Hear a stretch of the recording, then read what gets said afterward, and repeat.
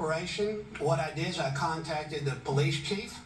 Um, I did that um, on Monday morning, explained to him I was having a press conference. My understanding, in talking to the chief, is beginning Monday, yesterday. He put all his officers of whatever he had to do on alert. Um, we also contacted the GBI. I also touched base with Folks, this is the prosecuting attorney uh, who spent the last hour setting up what we all knew was coming. That they were letting the police officers go who shot innocent Rayshard Brooks, who just was found drunk at a Wendy's uh, restaurant parking area, uh, uh, free. And uh, if you remember that action led to the burning down of the very Wendy's where the incident happened. Excuse me here, and um, so now, just months before, just just just months before the election,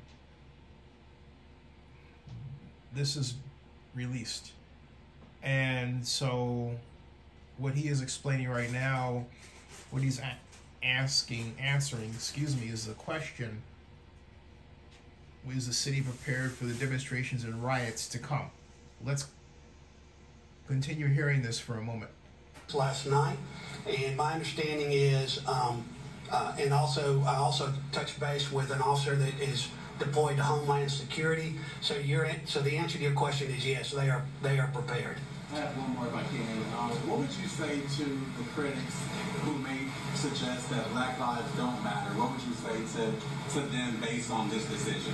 I, I, I would say that's a that's a good question, and I, and I will tell you that the, the Black Lives do matter. Um, I've spent my entire career representing black victims of crime, and I will tell them that I understand that the encounters between police and the African uh, American community at times are very volatile. But I will ask them to look at the facts of this case, and this isn't one of those cases. Um, I do understand there has to be an outreach between law enforcement and the African American community, and I encourage that, that outreach to continue. Um, but this isn't one of those cases. This is a case in which the officers were willing to give Mr. Brooks every benefit of the doubt. And, you know, unfortunately, by his actions, this is what happened. Stand alike, you mentioned uh, a lot of different parties, the two that, correct me if I'm wrong, that I did hear you mention were the officers themselves and their lawyers.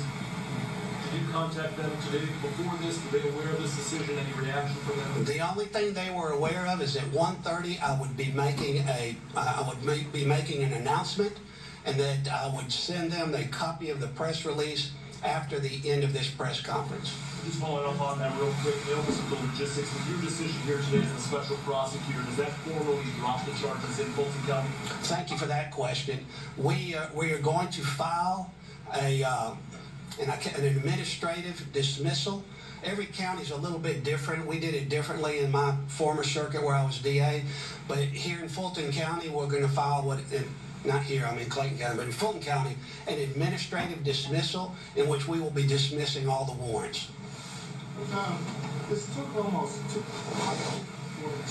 why did it take almost two and a half years for this uh, investigation? That's a great question, and let me let me point out that the investigation was complete in September of 2020. Um, the reason it took so long to get to this point was we were not appointed until a little bit over a year ago in July of 2021. And once we got the case, obviously we reviewed the case, hired the hired uh, Mr. Porter, went through the case file, got any additional information we could. For example, APD policies we had to ask, and then part of the delay in this case was getting the information to our it was first of all finding the experts we wanted to use. So we we, we looked at a a number of different experts. Um, even had I even had my staff go to a conference to uh, observe experts to see which ones would be best to do this case. And so part of the delay was simply getting the expert report back, which we got back just a few weeks ago. Mr. Skandalakis, do you believe that the first district attorney here, Paul Howard, overreached or did a disservice to this case by charging the way he did? I understand the question, but I will tell you that we were asked to look at whether or not this case should be prosecuted. Uh, the actions of Mr. Paul Howard need to be judged by individuals, given the, the, all the circumstances. Um, I, I, am not going to comment on, on Mr. Howard. I, I will say that um, the analysis that our experts brought to the table, reaction time of officers, um, what officers know at the time, uh, frame by frame video analysis, things of that nature were very important to our decision making, particularly when you get into the frame by frame breakdown of what occurred. Because when you look at this video in in in in, in full in, in its entirety in full motion, excuse me, when you look at it at its regular speed, taken from the vehicle, um, things happen quickly. The first time I saw this video, I did not even notice how Brooks got the taser away from Brosnan, nor did I notice the, the drive stuns to the neck or the shot to the hand. Didn't even notice that. And then I went back and read the file.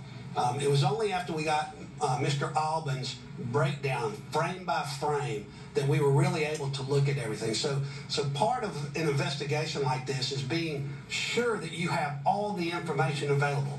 I'll also point out that I, and I know, and I, I have to address it this way. There was uh, uh, at a at the press conference Mr. Howard had. He points out that uh, uh the, one. I'm gonna freeze it right here, folks. Just to upload this video at about 6:50 mark. Subscribe to Zennie62, bookmark Oakland News Now blog.com, and we'll have more on this. That ends this one.